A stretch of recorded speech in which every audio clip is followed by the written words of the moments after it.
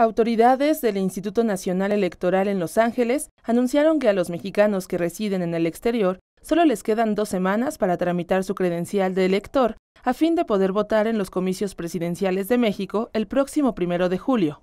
A partir de este viernes y hasta el próximo domingo, se realizará una jornada internacional de llamado al voto de los mexicanos residentes en el extranjero, con eventos en Chicago, Illinois, Dallas, Texas y Los Ángeles, California.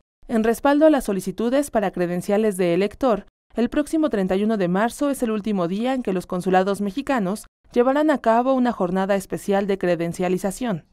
Después de esa fecha, las credenciales para votar se podrán seguir tramitando en los consulados, pero ya no podrá participar en las elecciones del 1 de julio en México.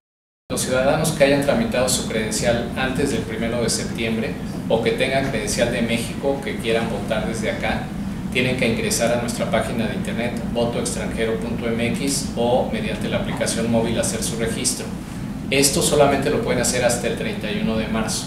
Esto es muy importante, ese día se termina el registro para estos ciudadanos. Los que hicieron su trámite del 1 de septiembre al 31 de marzo o que estén haciendo su trámite en estos días, en cuanto reciban su credencial, lo único que tienen que hacer es hacer la llamada al INE para decir que ya recibieron la credencial y con eso ya quedan registrados para votar.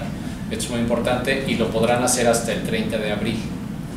Hasta el momento, el INE tiene registrados poco más de 92 mil solicitudes de mexicanos que ya están listos para votar y que serán quienes reciban en mayo próximo el sobre con su boleta electoral que deberán regresar con porte pagado por el INE a más tardar el 15 de junio.